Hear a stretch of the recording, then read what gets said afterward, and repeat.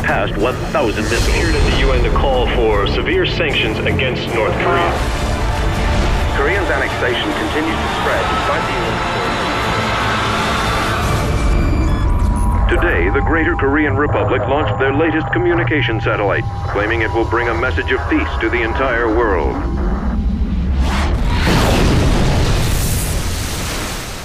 I'm Russ Pitts here with The Escapist. I'm talking to Dr. William Forstchen, author of One Second After, noted EMP expert. We're here at the Homefront Rally. And, Doctor, uh, what's your involvement with the game and uh, what brings you here? Several years back, I wrote a book entitled One Second After, which is a very realistic look at the threat of EMP and what would happen in a typical American town. Few Americans realize EMP is real, it is a real military threat.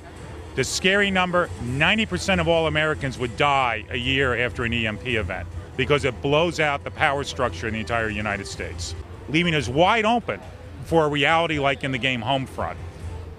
A lot of people think that's absurd, the idea of North Korea or something like that taking us out. Well, it's happened historically in the past where an ant has toppled a giant because the ant had a new kind of poison to bite us with.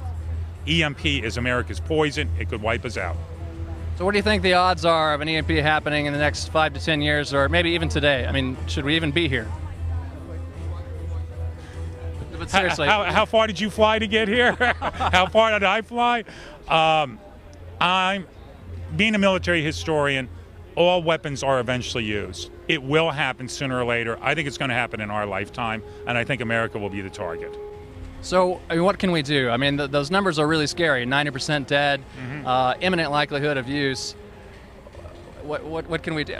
Well, one of my reasons for being enthusiastic about the game Homefront is yes, it's a game. We're all going to have fun playing, but I want every person who's playing also to think as an American citizen in the back of their mind. This could be my reality. This could be my child's reality.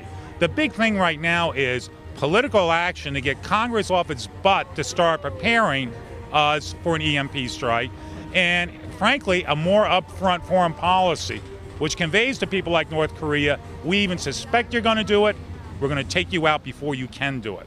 This is not like Pearl Harbor, where the day after we start rebuilding and then four years later we win a war. The next war, if used with EMP, we will lose in the very first second. That's the title of my book, One Second After.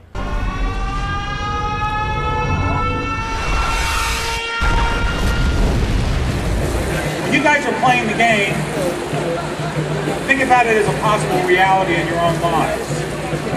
By the way, play the game while you can, because if the electricity goes off, all your Xboxes are screwed. Uh, yeah, good draw. Okay.